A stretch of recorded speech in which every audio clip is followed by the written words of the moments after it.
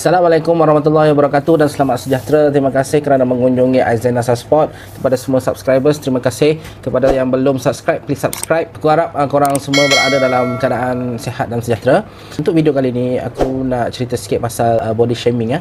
Uh, korang pernah kena body shaming tak?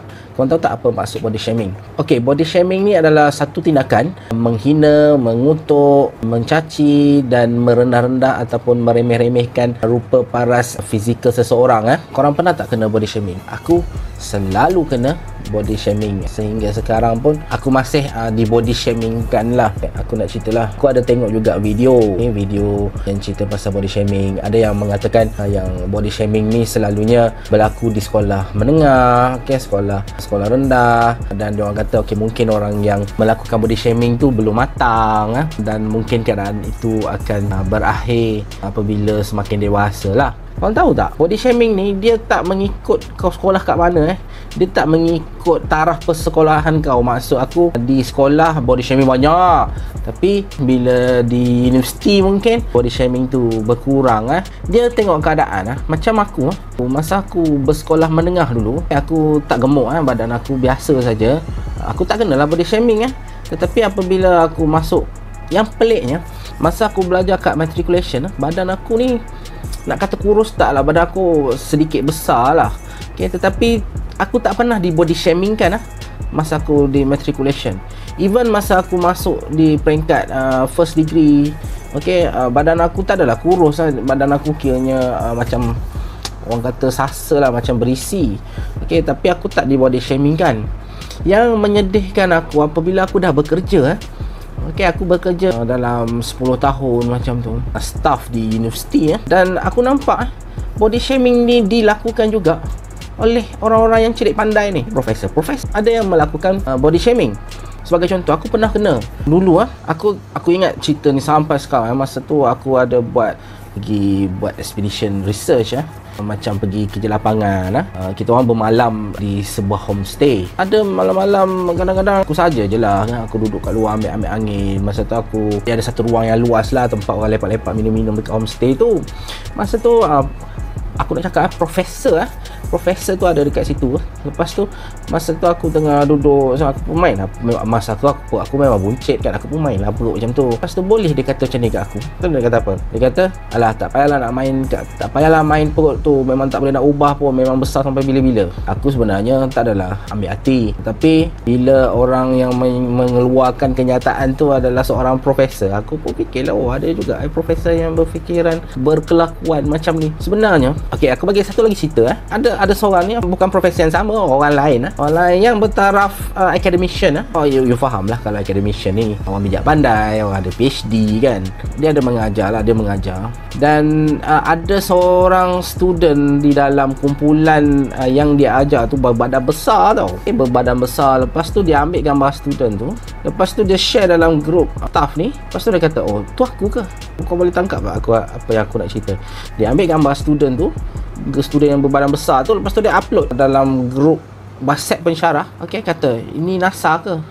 Kau kau rasa? Tu kita boleh tahulah. Okey dia ada kita boleh faham niat bergurau. Okey orang yang kena kena tu dia boleh sense sama ada ada orang tu bergurau ke orang tu tak bergurau ke orang tu memang berniat nak mengutuk ke. Tetapi kita tak boleh marah kalau orang yang kita burukkan tu marah kita balik. Masalahnya orang yang burukkan kita tu marah kita balik bila kita tegur dia. Ha, tak ke tak benda tu? Kau dah lah kutuk orang. Lepas tu kau rasa kutukan kau tu? Betul. Kalau orang tu rasa marah kau tak boleh nak marah dia. Setiap orang ada cara penerimaan dia sendiri. Kau yang ambil risiko kutuk dia. Jadi kau kenalah terima.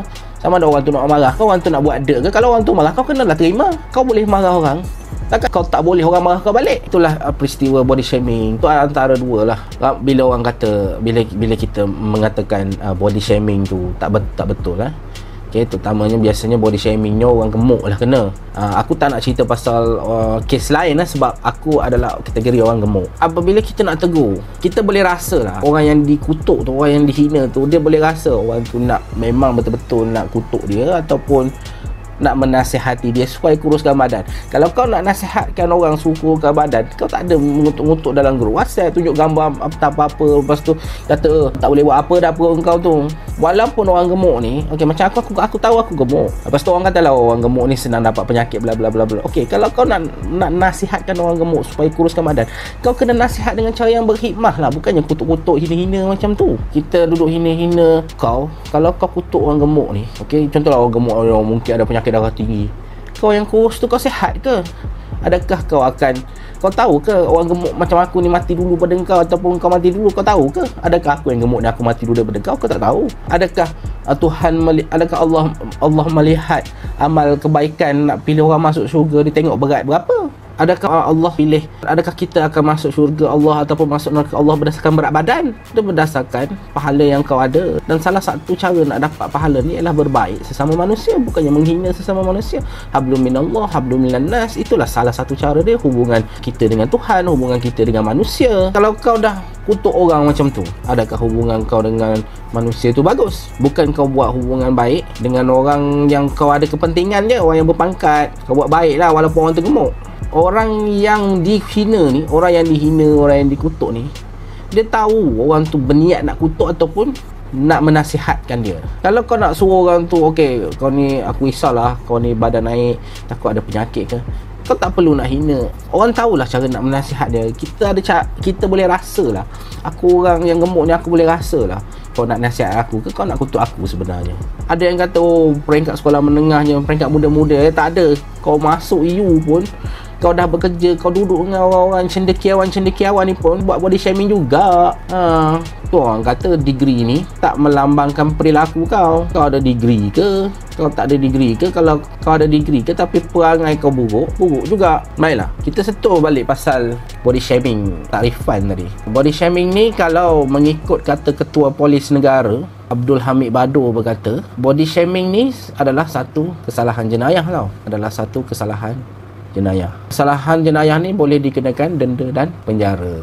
Itu kata ketua polis negara lah. Ah, kata ketua polis negara lagi, kesalahan ah, body shaming ni apabila seseorang tu melakukan body shaming, pihak berkuasa boleh mengambil tindakan di bawah section 233 kurungan 1 kurungan A kurungan B Akta Komunikasi dan Multimedia 1998 Section 509 Kanon Keseksaan serta Section 14 Akta Kesalahan Kecil 1955 Sabit kesalahan di bawah Akta Komunikasi dan Multimedia boleh didenda tidak lebih RM50,000 dan penjara tidak lebih setahun atau kedua-duanya. Manakala kesalahan di bawah Seksyen 509, kanon keseksaan boleh dikenakan penjara sehingga 5 tahun. Bagi kesalahan di bawah Seksyen 14 Akta Kesalahan Kecil pula, seseorang boleh didenda tidak lebih RM100. Jadi beringatlah, orang yang kena body shaming ni boleh buat report polis. Kalau ada kawan-kawan korang yang kutuk korang dalam WhatsApp ke dalam Facebook korang boleh simpan bukti tu. Kalau korang rasa sakit hati sangat korang boleh buat laporan polis eh. Korang boleh buat laporan polis. Simpan bukti tu. Kalau ada rakaman-rakaman yang dia orang kutuk kau kutuk korang pasal badan korang gemuk lah apalah eh. Aku tak rekod yang kutuk perut aku tu. Tapi yang dia kutuk aku ambil, ambil gambar orang lain kata tu aku tu aku ada simpan eh boleh simpan. Se- sebagai persediaan. Tetapi hukuman kesalahan body shaming ni ia adalah terlalu luas ya. terlalu luas. Kenyataan ketua polis negara mengenai body shaming adalah kesalahan jenayah mendapat dua reaksi berbeza daripada pengamal undang-undang. Ada yang mengatakan yang undang-undang yang disebutkan itu terlalu luas dan tidak menyatakan secara spesifik apa itu body shaming. Sebab uh, ni peguam cakap lah kena ada takrifan yang jelas antara pelaku jenayah dengan pembuli. Sebab orang yang melakukan body shaming ni sama ada itu adalah jenayah ataupun itu adalah bully lepas tu ada lagi seorang pengerusi jawatan kuasa undang-undang majlis peguam. Beliau bersetuju perlu ada asas undang-undang untuk mendakwa orang yang melakukan body shaming ni. Beliau mengatakan bahawa body shaming ni adalah amat dibenci secara morality. Maknanya ada dua pihak. Ada yang bersetuju uh, body shaming ni dikenakan tindakan yang berat dan ada yang kurang bersetuju sekiranya body shaming ni orang yang body shame, shaming ni orang yang melakukan body shaming ni di diklasifikasikan sebagai penjenayah.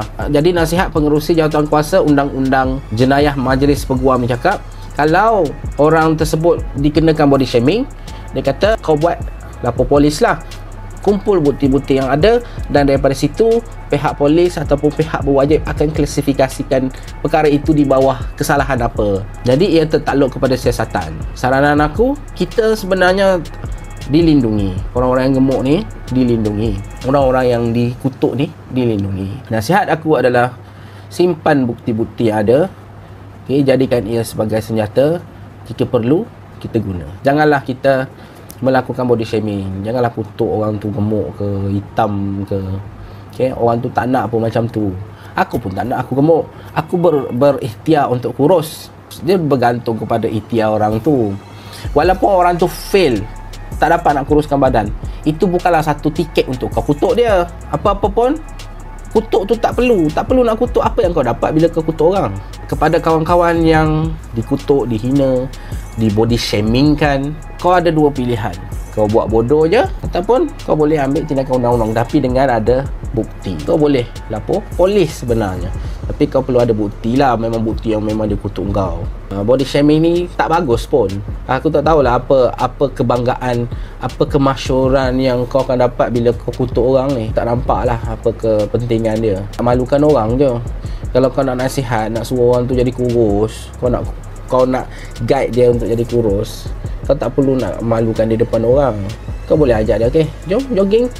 Eh, jom ni ni lama dah aku tak jogging. Adalah cara dia. Apa-apa pun body shaming is not good. It's not good. Walaupun kau cantik macam mana pun walaupun kau pangkat tinggi walaupun kau ada PhD ke kau profesor ke kau datuk ke itu bukanlah tiket untuk kau menghina fizikal seseorang itu. Itu saja video daripada aku untuk malam ni. Terima kasih kerana menunggu video ini sehingga habis. Aku rasa setakat ini saja. Kalau kau suka video aku ni, please like, please subscribe, please share, please comment dan please ketik butang loceng untuk mendapat notification video terkini daripada aku. Setakat ini saja. Terima kasih. Assalamualaikum dan bye-bye. Katakan tidak kepada body shaming. It's no good.